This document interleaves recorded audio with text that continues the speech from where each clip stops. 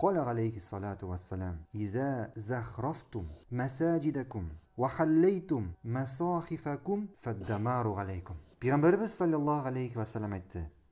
اگر ذا سيز مشت لرغزن بيزي باش لساغس هم قرآن نرغزن شور لساغس يعني شور لساغس وزيغزن Duşar itəşəksiz.